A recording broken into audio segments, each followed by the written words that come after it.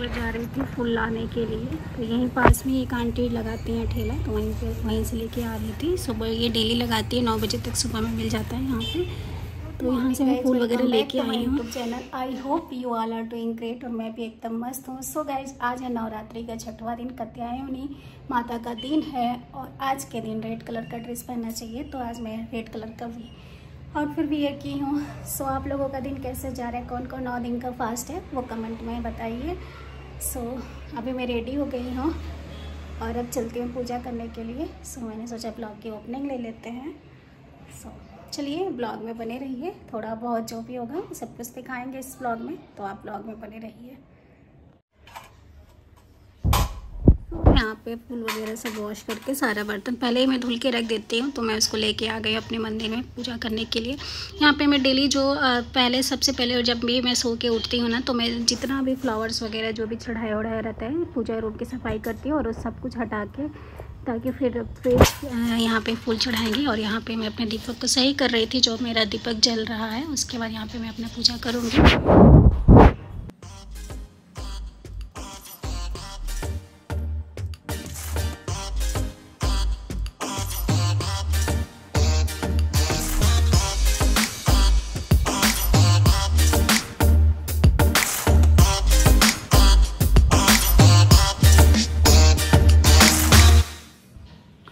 यहाँ पे मैं ना, आज भोर में ना कतियानी माँ को ना शहद पसंद है तो मैं यहाँ पे शहद निकाल रही हूँ। शहद का भोग लगाऊँगी।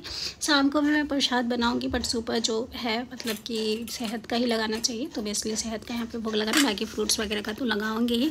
उसके साथ साथ शहद का भी लगा रही हूँ। और उसके बाद जब भी मैं पार्ट वगैरह पढ़ती हूँ ना, फिर मैं उसको रिकॉर्ड नहीं करती हूँ, क्योंकि वो मुझे दिखाना सही नहीं लगता है। तो यहाँ पे मैं पार्ट वगैरह मेरा कंप्लीट हो गया है। मैं उसके बाद दुर्गा चालीसा भी पढ़ती हूँ। सब कुछ कंप्लीट होने के बाद अब मैं यहाँ पे आरती के लिए खड़ी हो गई हूँ।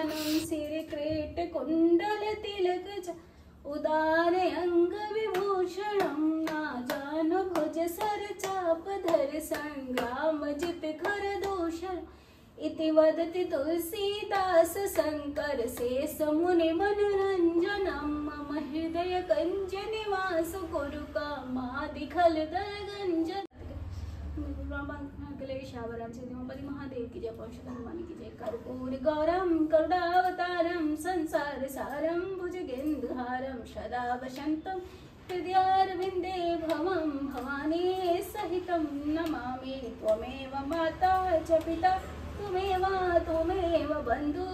शिखा विद्या द्रविण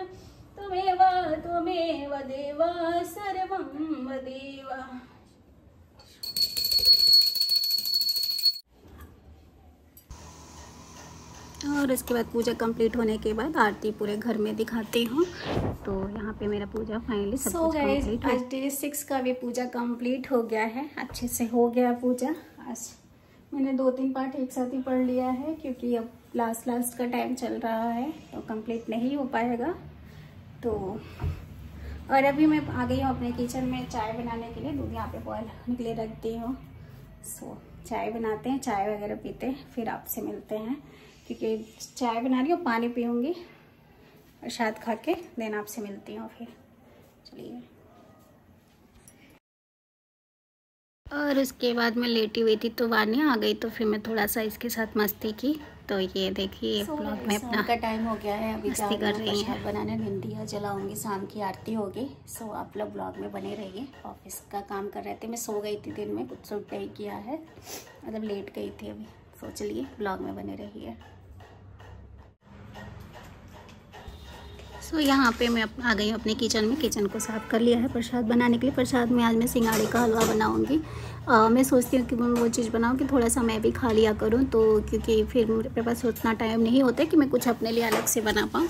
वैसे तो मुझे सिंगाड़े का हलवा पसंद नहीं है बट मेरे पास कोई और ऑप्शन नहीं रहता है। तो मैं अब क्या करूँ? मुझे प्रसाद में डेली कुछ ना कुछ बनाना होता है। तो फिर मैं यहाँ पर थोड़ा सा ही बनाऊँगी ताकि प्रसाद लग जाए। बाकी सब लोग खा ले मैं भी खा लूँ और बाकी सबको मैं दे भी दूँ। तो यहाँ पर मैं गैस को साफ़ कर देती हूँ। फिर भी एक बार मैं बनाने से पहले एक बार और सोचती हूँ कि साफ़ कर लूँ ताकि डाउट ना रहे कि कहीं गलती से किसी ने टच तो सो so, यहाँ पे मैं हलवा बनाने के लिए गैस ऑन कर लिया वो थोड़ा सा ही बनाऊँगी ज़्यादा नहीं बनाऊँगी। तो घी में ही बना रही हूँ। ये घी मैं बाहर से लेके आई हूँ क्योंकि ना घर में तो वैसे था घी बट ना घर मुझे ना लग डाउट था कि मैं कभी ऐसे टच उच कर दी तो फिर उस वजह से मैं नहीं उसका यूज़ कर रही हूँ। तो प्रसाद वगैरह के लिए मैं बाहर का जो घी है उसी को यूज़ कर रही हूँ।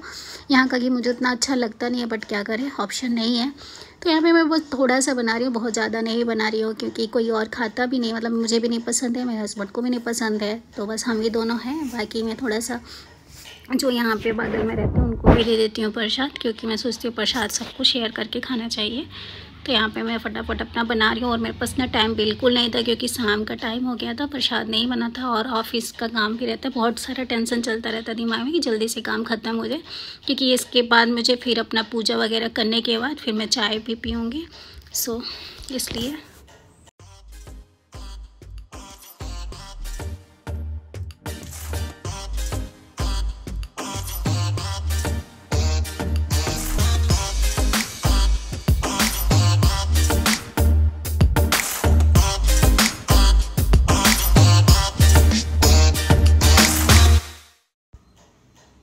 और उसके बाद ना मैं हलवे में शुगर और दूध मिक्स करूँगी। मतलब कि मैं दूध में पानी नहीं डालूँगी इसमें। दूध डालने से थोड़ा सा अच्छा और मतलब उसका टेस्ट इन्हेंस हो जाता है, जिस वजह से मैं यहाँ पे दूध ऐड करती हूँ। और शुगर आप लोग देख रहे हैं पैकेट पे ही है, क्योंकि इसलिए रखी हूँ, क्योंकि वो साफ़ अलग रखी हूँ। तो यहाँ पे मैं दूध और दूध को ना मैं मलाई के साथ डाल दूँगी ना तो थोड़ा सा इसका अच्छा टेक्स्चर देखने में भी लगेगा और खाने में भी। तो इसलिए मैं हलवा में कोशिश करती हूँ कि मैं दूध ही डालूँ पानी की जगह पे, क्योंकि पानी मुझे नहीं सही लगता है और ये सेहत सही बनता है। सो सबका अपना अपना तरीका होता है। मैं कोशिश यही करती हूँ कि मैं दूध डालूँ। सो so, यहाँ पे मेरा हलवा बन गया है और ये प्रसाद के लिए देख रहे हैं आप कितना बनाई हूँ कितना सा। बस यही बनाई हूँ इसी में हम सब लोग खा लेंगे क्योंकि मैं ज़्यादा नहीं बनाती हूँ। मैं सोचती हूँ कि अब मैं वेस्ट करने से अच्छा है कि कमी बनाओ ताकि यूज़ हो जाए। क्योंकि मैं बहुत चीज़ें ना ऐसी होता है ना मीठा में बना के रख रहती हूँ फ्रीज में वो रखा ही रह जाता है कोई इसको खाता है नहीं इसलिए मैं कोशिश यही करती हूँ कि जितना ही बनाऊँ जितना ज़रूरत हो उससे ज़्यादा ना बनाऊँ। तो यहाँ पे मैं बस हो गया। अब उसके बाद फटाफट प्रसाद के बन गया तो मैं पूजा करूँगी। और मुझे याद आया जब मैं एडिटिंग कर रही थी कि मैं इस ब्लॉग की एंडिंग नहीं ली हूँ तो पूजा करूँगी। उसके बाद ही ब्लॉग एंडिंग हो जाएगा। तो आप लोग ब्लॉग में बने रहिए।